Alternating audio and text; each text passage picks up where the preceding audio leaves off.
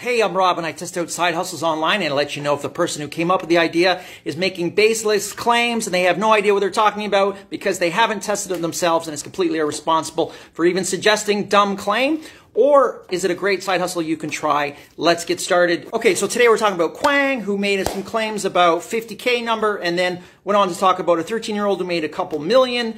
Before we get too silly here and excited, let's just all calm down and come to planet Earth. And basically he's talking about as a youngster, you can start building a social media following. And once you get to 10 to 100,000 followers, then you can start selling Amazon products.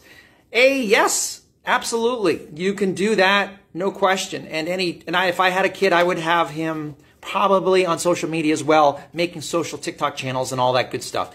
Two, I would definitely say you can sell Amazon products. That is a given. However, let's just not get too excited about the number that he claimed 50K a month. Like, this is going to take time. You just can't tell people numbers like that. I would say it's going to, depending on your personality and how hard you work, it could take several years to build up to um, 100,000 followers, or it could take no time at all. Is he full of it? No, he's not. Okay, I haven't watched his other videos. He's got some crazy videos on there, but as far as I can tell, everything uh, and for this particular video, um, is it, it's yeah, affiliate marketing is great. That's what I do, and uh, I'm not at those numbers that he's claiming yet. I just started in October. However, I do see the potential, but it would take time. So anyways, that's my two cents worth. And hopefully that helps you. And I will talk to you later.